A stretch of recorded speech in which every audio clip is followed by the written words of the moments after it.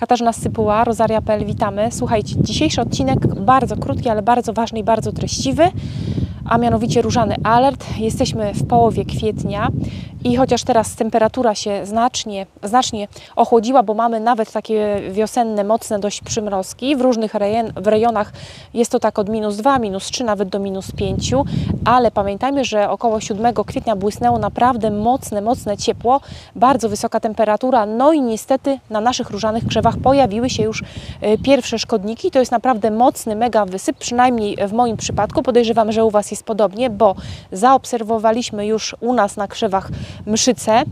I to takie mszyce giganty, które musiały gdzieś przezimować mimo e, tego, że mieliśmy troszkę tych ujemnych temperatur i tych mrozów w zimie, jednak dość sporo ich przezimowało. Zaobserwowaliśmy również skoczka, dlatego uczulam Was bardzo, przejdźcie po swoich ogrodach, bo naprawdę e, takie szkodniki mogą wywołać e, w naszych różach poważne braki. Ja tutaj w przypadku moich róż nie obawiam się tego aż tak bardzo, bo mam tutaj akurat szpaler róż kanadyjskich, to właśnie na nich tutaj zaobserwowałam szkodników. Wysyp, nie zrobią one im być może dużej krzywdy, ale mimo wszystko wiadomo, że mszyca żeruje na tych najmłodszych pędach, a co y, dziwnego i ważnego, ja już słuchajcie, w tym momencie na tych różach, które u mnie nie były zbyt mocno przycinane, bo szpaler pięknie przezimował, a jak wiadomo kanadyjki, róże parkowe nie tniemy zbyt mocno, y, generalnie tniemy oczywiście na ile sami chcemy przycinać i mieć wpływ na wzrost róż. W moim przypadku były zostawione dość wysoko, no i zawiązują mi już pierwsze pąki kwiatowe, a mamy dopiero kwiecień, więc tym bardziej uważamy na szkodniki. I teraz tak, jeśli chcemy stosować naturalne środki, jak najbardziej. Polecam Wam na przykład emulpar na bazie oleju rydzowego, który powoduje nam y, takie zablokowanie życia naszego szkodnika, czy to mszycy, y, czy to y, różnego rodzaju miseczników i innych żyjątek, po prostu oblepiając je tak jakby lepką, taką substancją, śluzem nasze szkodniki. Jest to substancja jak najbardziej ekologiczna, nie szkodzi pszczołom, nie szkodzi innym pozytywnym żyjątkom w naszym ogrodzie, więc jest nawet zalecane do oprysków na drzewkach owocowych i innego rodzaju krzewów, gdzie również szkodniki e, wywołują nam różnego rodzaju straty. Co najważniejsze, nie ma karencji, a więc nie ma w żadnym wypadku e, przeciwwskazań, szkody, więc jeśli nawet wykonujecie oprysk na jakichś różach, które potem będą spożywane na płatki, też nie ma jak najbardziej żadnych przeciwwskazań. Jeśli natomiast stosujecie chemię, to bardzo Was e, uczulam, dobrze czytajcie stężenie na środkach ochrony roślin, bo można sobie również popalić e, takie róże. I teraz spójrzcie, przesuniemy się do róży starej, historycznej, bo jak wiadomo to są róże bardzo stare, bardzo stare odmiany, bardzo naturalne i one niestety nie lubią e, oprysków chemicznych. No i spójrzcie, tutaj bardzo stara mm, odmiana, ponieważ u mnie już jeden e, oprysk został wykonany. No i ja niestety musiałam zastosować chemię z tego powodu, żeby e, jednak z moich rabat te e, owady nie przyniosły nam się nasadzonki, które mamy w tunelach i które tutaj będą do Was wysyłane. No i spójrzcie, ewidentnie widać, bardzo trzeba uważać z, mm, ze stężeniem, ale nie tylko to, po prostu stare odmiany róż nie lubią oprysków, środków chemicznych, jak najbardziej. W takim wypadku polecam Wam mm, opryski naturalne,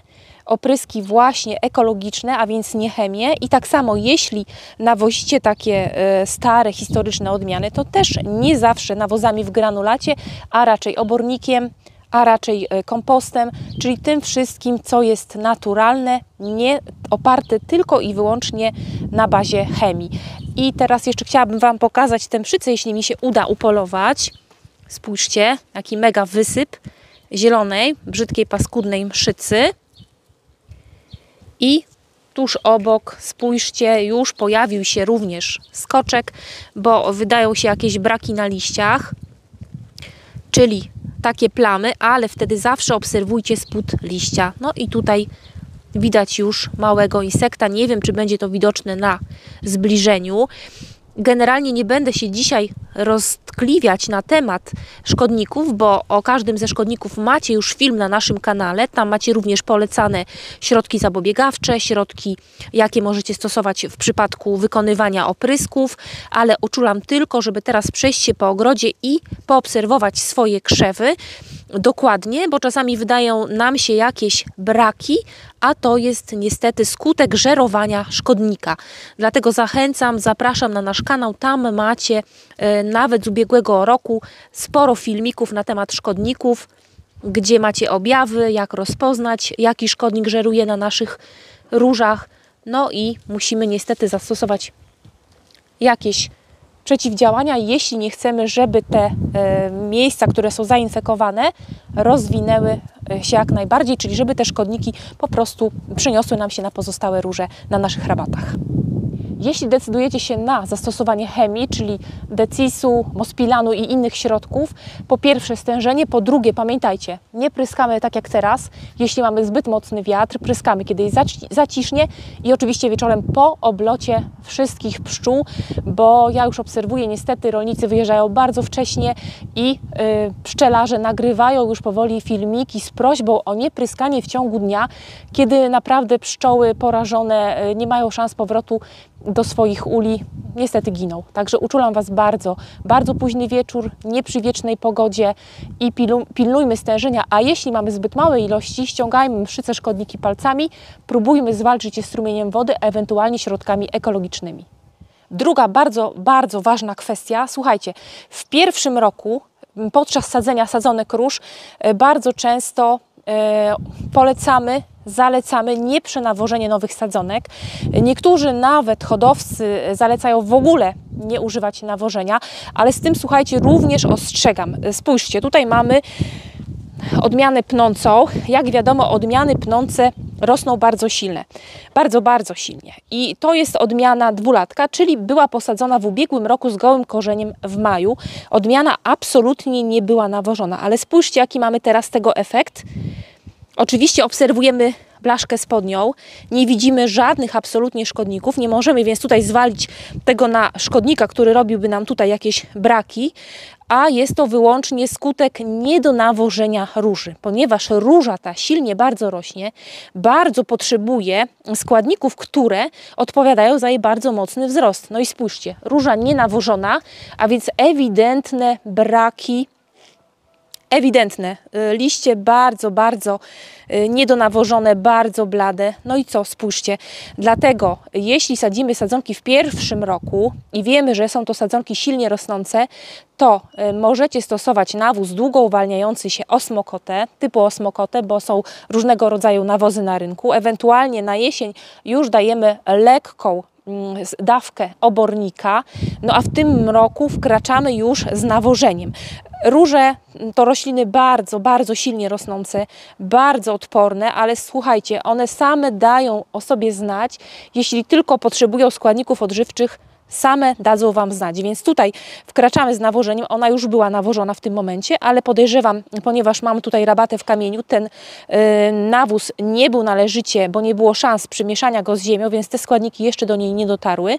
Dlatego albo y, możemy tutaj teraz wejść z opryskiem, w, czyli y, dajemy tutaj nawóz w płynie i y, w opryskiwaczu. Ewentualnie czekamy na to, żeby ten nawóz, który już tutaj został zastosowany, zadziałał, a mamy tutaj ewidentny właśnie brak nawożenia w pierwszym roku, więc nie zawsze, słuchajcie, stosujemy się do tego, jeśli róża e, silnie zaczyna nam rosnąć w pierwszym roku, to już na jesień zalecałabym jednak pierwszą dawkę takiego nawożenia. I trzecia bardzo ważna sprawa to jest jeszcze korekcja naszego cięcia, bo jak wiadomo, cieliśmy obficie koniec lutego, marzec, nawet początek kwietnia. Tak pięknie przezimowały stare odmiany, tutaj odmiana gizelka i odmiana pnąca Bantry Bay. A tutaj przede mną spójrzcie, odmiana, którą uważałam za naprawdę niezniszczalną, odmiana już bardzo stara, ale w tym roku y, bardzo mocno mi nadmarzła Elina.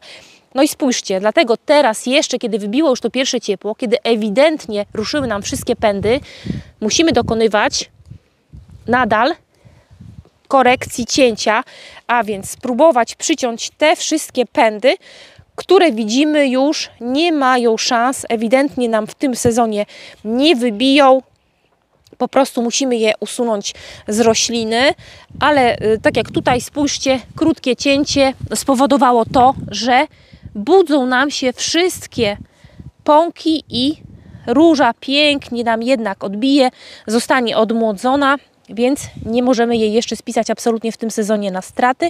Dlatego w tym momencie jeszcze przechodzimy ogród i dokonujemy mm, przycinania tych wszystkich sadzonek, które bardzo mocno nam nadmarzły. E ewentualnie wcześniej nie było widać, że te sadzonki jednak nie rokują dobrze. Wydawało nam się, że e, fajnie wyglądają, są zielone. Teraz dopiero okazuje się, że jednak coś z nimi się zadziało. Przemarzły, zostały uszkodzone, przemarznięte. Więc to jest jeszcze czas, kiedy dokonujemy takiej ostatecznej wiosennej korekcji cięcia. Dziękuję Wam bardzo serdecznie za dzisiejsze spotkanie. Mam nadzieję, że y, pomogłam Wam troszkę, rozwiałam Wasze wątpliwości i y, rzućcie okiem na swoje ogrody. Naprawdę to jest ten czas, kiedy jeszcze nawozimy, robimy ostatnie przycinki, no i potem czekamy już na pierwsze kwiaty, a to już tuż, tuż, bo tak jak teraz kwitną nam wszystkie piękne, wiosenne, bardzo wczesne kwiaty, tak już niedługo e, będą nam kwitły nasze róże, a więc czekamy na czerwiec. Jeszcze tylko jeden miesiąc. Do zobaczenia.